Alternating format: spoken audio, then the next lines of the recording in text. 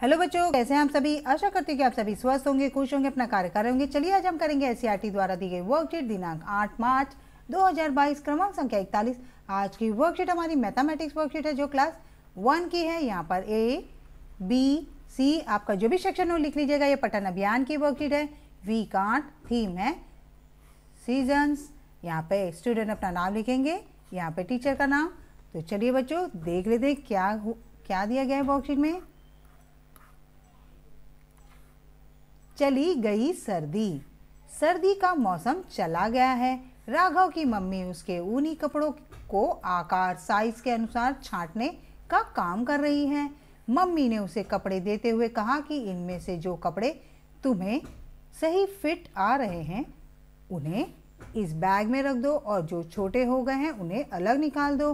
अब राघव ने कपड़े पहनकर छांटने शुरू कर दिए।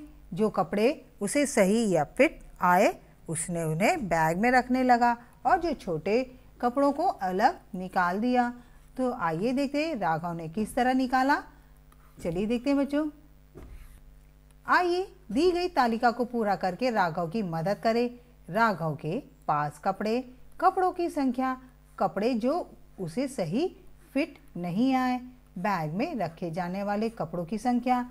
तो यहाँ पे इस तरह से उसने तालिका बनाई। तो चलिए देखते हैं, स्वेटर। तो यहाँ पे राघव के पास कितने स्वेटर हैं? तो देख लेते हैं, कपड़ों की संख्या, स्वेटर है नौ।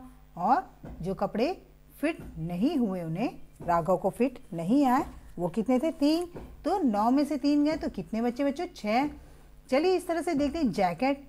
राघव के पास छः जैकेट हैं और उसमें पाँच फिट नहीं आए तो कितने हो गए? छः में से पाँच को घटा देंगे बच्चों।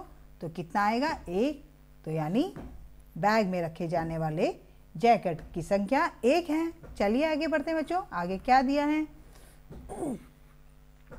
टोपी। राघव के पास दस टोपी है। उसमें से दो फिट नहीं हुई तो दस में से आठ को हम घटा देंगे बच्चों। तो आएगा आठ। जो बैग में रखे, उसने आठ टोपियाँ रखी। और ये देखिए, कोट। आठ कोट है उसके पास।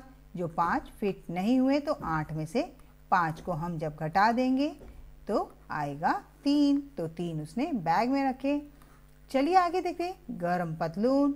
ये गरम पतलून राघव के पास सात है, जिसमें से एक फिट नहीं आई। तो इसमें सात में से एक घटा देंगे बच्चों। तो कितना आएगा? छः तो छः उसने बैग में रखे। अब ये गरम पैजामा। तो गरम पैजामा उसके पास दस हैं, जिसमें से तीन फिट नहीं हुए। तो कितने हो गए उसके? दस में से, हमें दस में से तीन घटा देंगे। तो सात उसने बैग में रखे।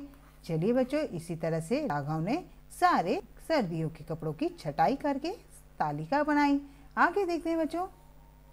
अभिभावकों के लिए सुझाव कि बच्चों से बातचीत कीजिए और सर्दी के मौसम के बाद कौन सा मौसम आता है और इसमें वे खान पान और कपड़ों में क्या बदलाव देखते हैं। आज का कोविड का मैसेज है कि जब भी बाहर निकले बच्चों, मास्क ज़रूर लगाएँ। कोरोना को हराना है तो मास्क लगाना है। उम्मीद करते हैं कि मेरी वर्कशीट आपको पसंद आई पसंद आई है तो लाइक कर दें। अपने दोस्तों को शेयर करें। अगर अभी तक आपने मेरे चैनल को सब्सक्राइब नहीं किया तो फटाफट से सब्सक्राइब करें बच्चों। मिलते हैं अगली वर्कशीट के साथ। तब तक अपना ध्यान रखें सेफ़ रहें। Bye bye